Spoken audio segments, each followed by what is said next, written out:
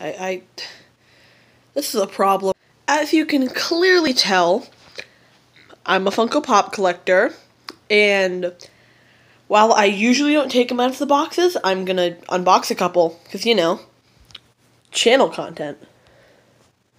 So I figured we'd start with my, my absolute favorite. It's so detailed. It just so, it's so much better than all of my other Pops. Let's unbox it.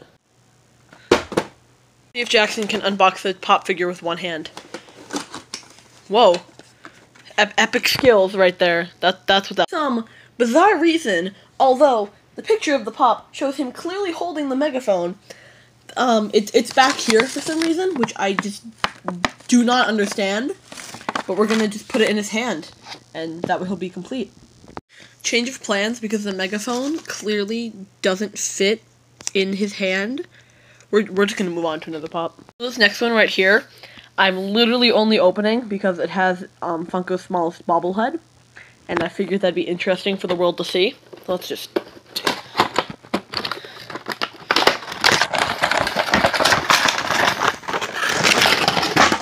Perfect. Oh my god, it's actually a bobblehead! I've never opened this before. Wouldn't it be great if um, the, the sequel to Ant-Man was an hour and a half of this little guy. What I find really cool about this pop, though, in all seriousness, is that it's two exclusives because it's the Collector Corps exclusive pop, but then it's also Funko's Smallest Bobblehead right there. So it's actually like a two for one, super special, OMG, beautiful. This guy was my most recent grab, and I actually have two. I have this one, and then I have that one up there. So I mean, twice the fun. So let's see how this how this guy actually like is. So amazing, like his head twists. So it's not even like a bobblehead. It's like it's, it's like an action figure. This is super cool. Yeah, this this this is just so cringy. I can't even. I'm not gonna unbox this one because of how special it is. But for those of you who don't know, there are pops that are made, and then there are Chase exclusives that are only a limited amount. And I got the Black Panther one. Just wanted to throw that out there. For my last unboxing, I'm going to try to get open this guy, which if you look, it's heavy, it's twice the size and twice the length of a normal pop figure. So, like, is that is that not crazy? Ooh, it's a Target exclusive.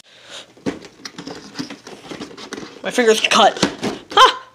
Awaken. Due to the sheer size of this, I can't record me unboxing it, so I'm just gonna pick up when I have it open. This is actually insane. Like, I, I've, I've seen smaller dogs.